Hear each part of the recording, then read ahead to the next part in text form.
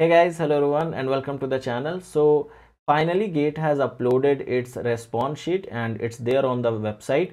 So it's this video is just to inform you that and just to let you know how you can do that. So uh, many of you were asking me in the comments from last few days that when gate is going to do that and i told you that it will be done within this week and finally today we have that.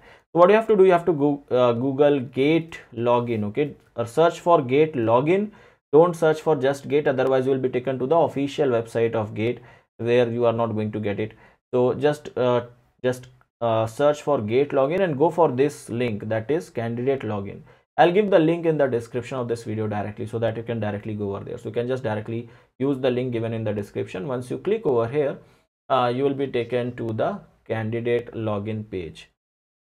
Now here you have to put your enrollment id or your email address whatever uh, you remember and your password and you have to submit to login into it. Now once you will log in you will have three options over here to download your uh, response sheet to download the admit card and one more that pass right? Gate pass which you might have downloaded before while going for the exam.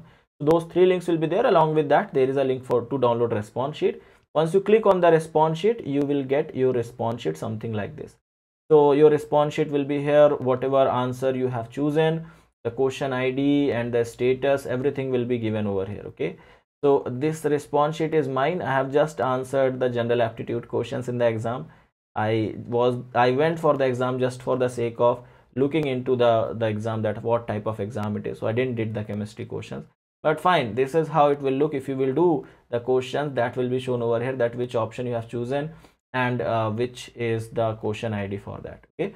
So download it and i will recommend you to save that uh, like to save this particular uh, response sheet because with that you will have a reference. You don't have to go back again and again and do that. And in case if gate removes that from the website you will have your uh, response sheet with you.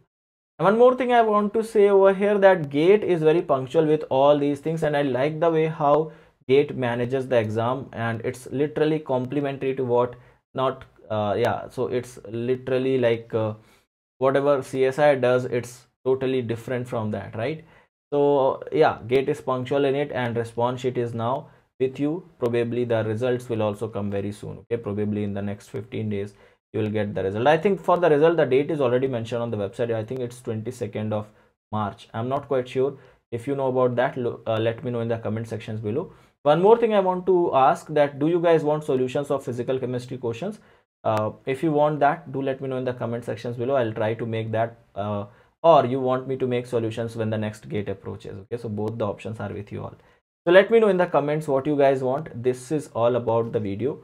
I just wanted to inform you about uh, the response sheet which is available on the web. So download your response sheet check out your results check out your uh, uh, answers check out your responses and all the best for the result